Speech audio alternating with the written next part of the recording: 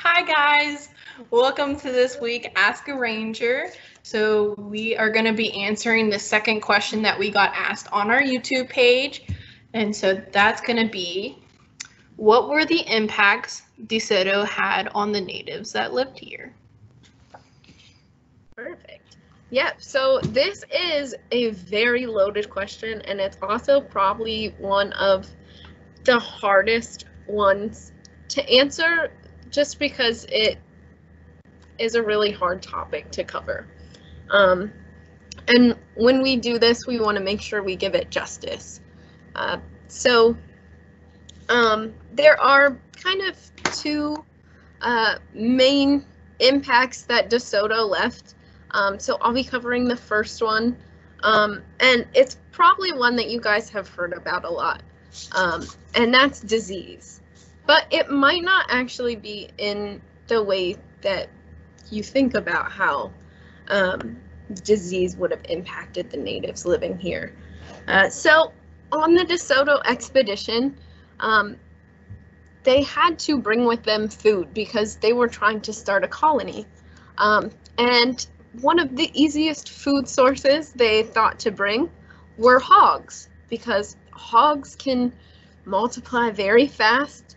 Um, within six months of being born, they can already be ready to have an, um, have children. So they can multiply large numbers, um, and they also will eat anything.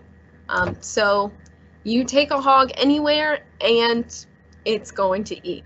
However, they brought hundreds and hundreds of these hogs over. Um, and I don't know what it would be like to try and wrangle that many hogs, um, but I'm assuming it would be very, very hard. Um, and unfortunately, all uh, some of those hogs escaped. Um, and we even see that impact still to this day of those hogs escaping.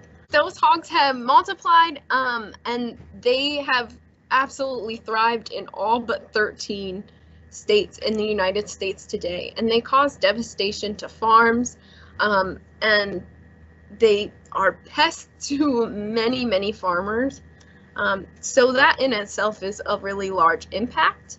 Um, however, natives quickly found out that, like most others, bacon tastes really good, um, and that they're pretty good at catching, killing, and eating hogs.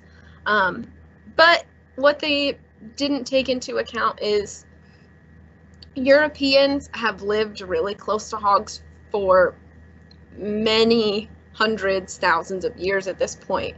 Um, they've gotten certain immunities to the diseases that pigs carry. Um, and they're used to living in very close quarters with those hogs. However, the natives here, because these hogs aren't new for them, um, they don't have that kind of immunity built up. And hogs are very similar um, to our physiology as humans and they can transfer diseases very easily um, between hogs to humans. And unfortunately, that is what's going to lead to a lot of the disease that's spread here.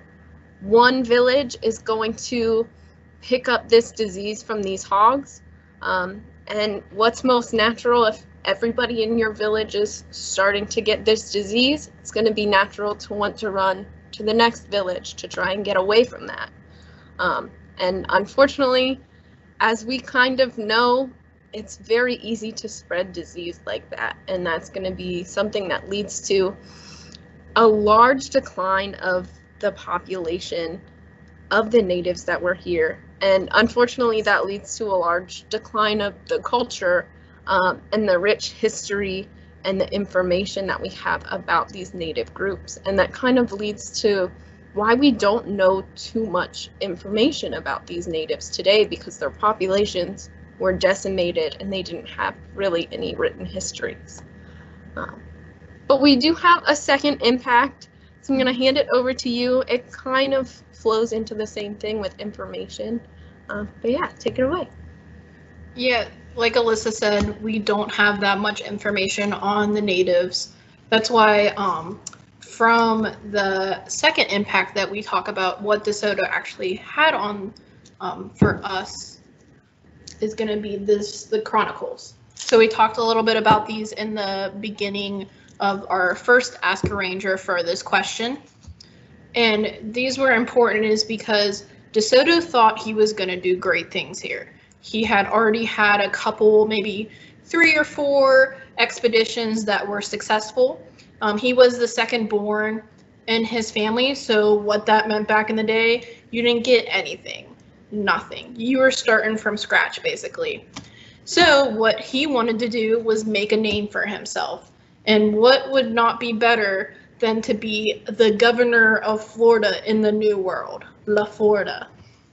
So he brought people with him on his expedition to write down everything that they did. And that's where these chronicles are going to come out of. Now, this is just one of them. There is another one that's this size. So you can imagine how much information is actually impacted in these. And from him coming over and writing everything down, that's why we know of some of the natives that actually lived here today because he talks about them in this book. So the people, the scribes that had written this down, wrote wrote this down, and then once DeSoto did pass away, they took these back to Europe, and then everybody in Europe read them and were like, "Wow, we had no idea." And that's kind of all we have for you guys this week. So if you guys have any more questions that you want answered, just put them down in the comments below. We'll take them into consideration for our next videos. You guys have a great rest of your week and we'll see you later. Yeah. And until next time, stay curious and seek the unknown.